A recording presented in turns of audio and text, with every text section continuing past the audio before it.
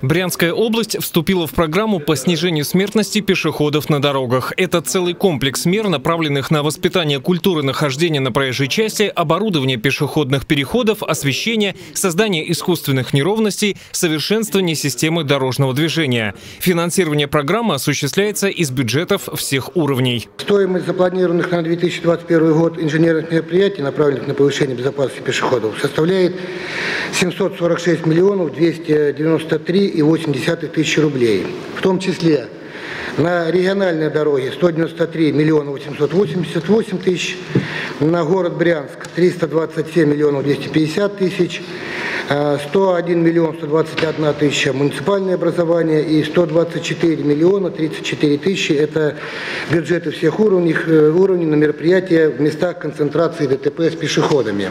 Комплекс мероприятий по снижению смертности на дорогах включает в себя в том числе и работу с подростками. К этому привлечены все школы региона. В школах области реализуется 10-часовая дополнительная программа по обучению учащихся первых 11 классов безопасному поведению в транспортной среде и программа, программа «Юный водитель» по обучению детей от 8 до 13 лет, разработанная образовательными организациями и имеющая лицензию Брянского института повышения квалификации работников образования. Все озвученные вопросы взяты губернатором Брянской области Александром Богомазом на личный контроль. Александр Новиков, Алексей Рязанцев, Кирилл Пухляков. События Брянск.